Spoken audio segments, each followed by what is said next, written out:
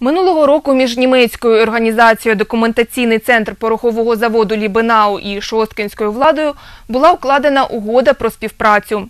Зокрема, з німецької сторони надійшла пропозиція створити у Шостці меморіальний комплекс пам'яті наших земляків, вивезених у роки Великої вітчизняної війни на примусові роботи до міста Лібенау. Цьогоріч головний архітектор міста Володимир Єфремов та науковий співробітник краєзнавчого музею Микола Кокшайкін презентували німецьким колегам 3D-ролик майбутнього меморіалу, який справив на них незабутні враження. Подробиці у наступному сюжеті.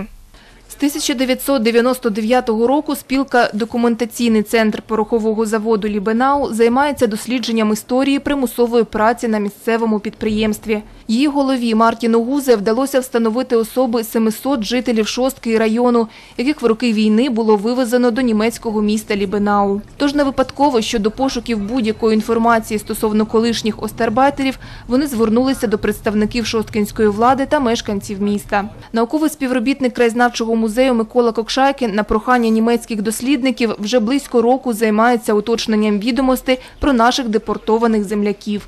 Говорить, що робота повинна продовжуватися, адже ще не всіх людей на сьогоднішній день знайдено. Они привлекли меня к этой работе по той причине, что нужно какие-то данные уточнить. Может быть, пол- по- по- по- получить какие-то дополнительную информацию в виде хотя бы цифровых копий фотографий. Может быть, еще кто-то жив из э, бывших э, астарбайтеров, кто работал на этом э, пороховом заводе. Может быть, с ними можно пообщаться, взять интервью и уточнить, кто с ними вместе был и так далее.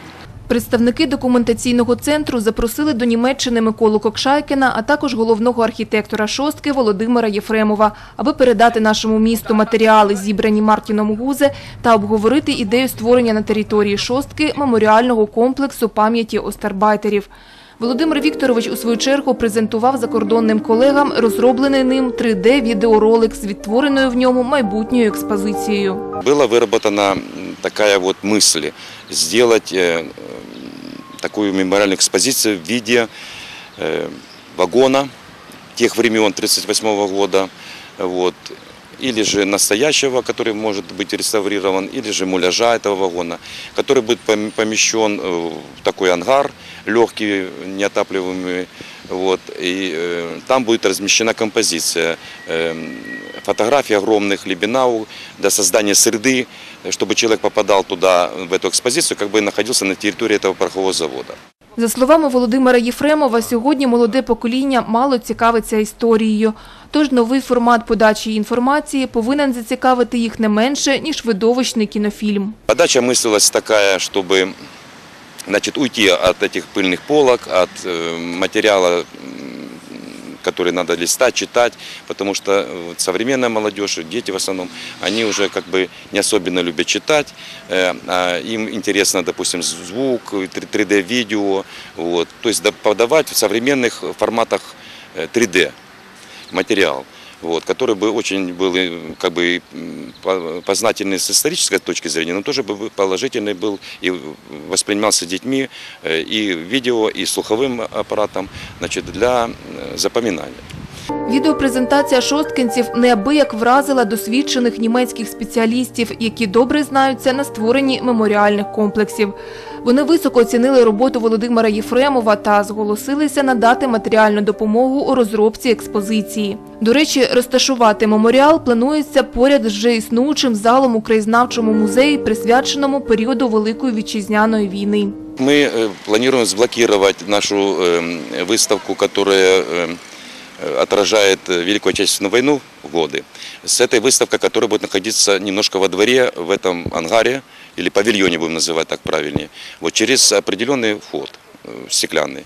Вот. И они как бы параллельно две экспозиции будут идти, как военная, так и э, гражданская. Некоторый материал уже накоплен, вот, и э, немецкой стороной предоставлен нам.